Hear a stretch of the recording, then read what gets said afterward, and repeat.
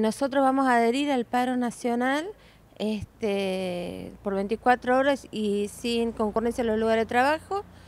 Y entre Lau y Rawson básicamente vamos a participar acompañando a los compañeros docentes que tendrían la paritaria nuevamente en Rawson, así que esa es la medida que vamos a hacer el lunes. Es decir, va a haber movilización en Rawson. Sí, sí, nosotros movilizamos a Rawson, ya te digo, acompañando al reclamo docente.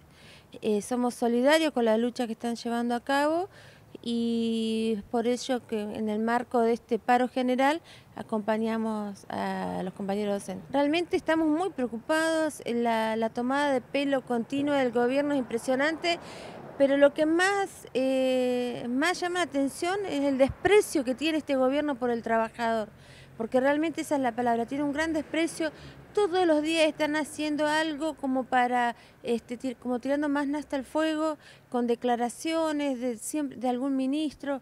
Ahora hace dos días atrás escuchar a Tarrío decir que quiere elevar la edad jubilatoria. En estos momentos donde estamos en una situación de que no vemos salida, no vemos una alternativa y que sigan poniendo más, este, más trabas, más, hace que la gente se enoje más y que bueno, obviamente esta medida más allá de que es a nivel nacional, queremos que se sienta a nivel provincial también.